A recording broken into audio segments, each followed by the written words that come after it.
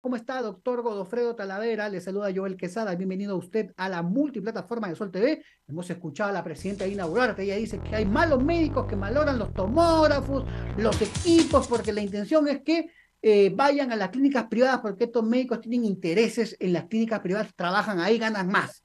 ¿Es así? ¿Qué dicen los médicos del Perú, doctor? Bueno, Joel, en primer lugar, una gran indignación y un rechazo y repudio total a la presidenta, que esperamos que se corrija a la brevedad, porque si no, esto es una falta, a una difamación agravada y vamos a tomar las medidas necesarias. que nos mencione la presidenta a quienes han sancionado por malograr equipos. Eso sería un crimen y como federación, como médicos, no lo vamos a permitir. Pero queremos nombres y a quienes ha sancionado. No puede tener la ligereza la máxima autoridad del país echar la culpa a los trabajadores de salud por las deficiencias que existen en, el, en nuestro sistema de salud. Mencionarte, por ejemplo, que la cantidad de tomógrafos por un millón de habitantes debe ser 20.64. Actualmente tenemos en el país, en, en Lima, 27 tomógrafos en vez de tener 180. Eso hace que los tomógrafos se malogren por el sobreuso que se les da en las pocas instituciones que tienen. Además de esto, no se hace el mantenimiento preventivo, no se hace el mantenimiento correctivo cuando se solicita. Y también mencionar que lo que manejan los tomógrafos son técnicos, no son los médicos. Entonces está de más echarle la culpa a los médicos de las deficiencias del sistema de salud. No tenemos resonadores en el país. Se necesita más o menos un resonador por cada 300 a 500 mil habitantes. en el país pero... 3 millones y se requerirían 64 resonadores. Y lamentablemente en Lima solamente tenemos tres, de los cuales uno no funciona. Pero, pero, sí. Doctor, pero volviendo al tema de, la denuncia pública que hace ¿no? la presidenta Dina Boluarte, es cierto, ¿no? No dice nombres, no dice qué médicos están involucrados en estas presuntas malas prácticas, pero usted no tiene conocimiento porque los ciudadanos también se quejan, ¿no? De que, bueno, eh, eh, por ahí eh, algunos médicos o algunas personas estarían llevando pues a los pacientes a las, a las clínicas privadas. ¿Esto ha escuchado usted algún tipo de denuncia sobre este tema?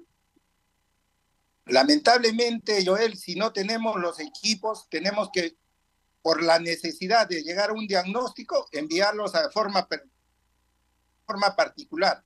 Pero descarto totalmente que un hospital que tenga un tomógrafo, que esté funcionando, se le derive a otra institución privada. Eso es falso. Y lo que es peor, los médicos y los trabajadores del hospital no vamos a malograr nuestros equipos. Esos sería un crimen y por eso le exigimos a la, a la, a la presidenta que se corrija a la brevedad posible, si no vamos a tomar acciones legales que nos demuestre quiénes son los culpables. No puede tener la ligereza la máxima autoridad del país de echar la culpa de las deficiencias de nuestro sistema de salud a los trabajadores y en especial a los médicos a los médicos, indudablemente, ¿no? Bueno, ahí está, usted por eso lo hemos convocado, ¿no? Para que eh, eh, usted, responda. También te quiero añadir que en los hospitales actualmente estamos desabastecidos de medicamentos.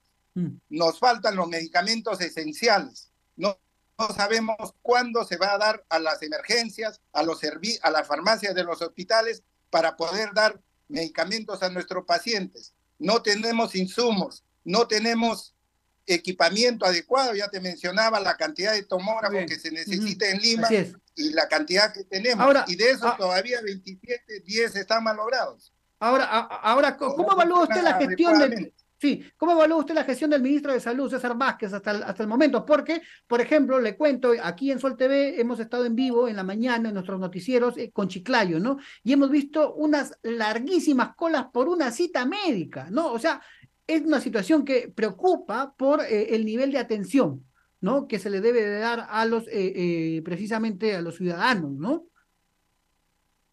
Esa es la función de la presidenta, del ministro de Salud, corregir los presupuestos míseros que se dan a nuestro sistema de salud. Todos decimos que se necesita del 6 al 8% del PBI, se nos asigna un 3%. Nos faltan 16 mil médicos especialistas y hasta el momento no se soluciona. Pura declaraciones, vamos a mejorar el primer nivel de atención y en la práctica no vemos que nada mejora. Si no hay un presupuesto adecuado para comprar equipos de última generación, reactivos para el laboratorio, medicamentos para nuestro paciente y para contratar recursos humanos en la cantidad suficiente, vamos a seguir teniendo colas. Eso no va a cambiar.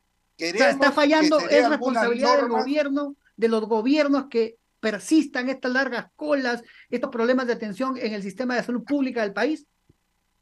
Por supuesto, porque históricamente venimos recibiendo presupuestos que están muy alejados del, promedio latinoamericano y de las recomendaciones de la Organización eh, para Desarrollo Económico.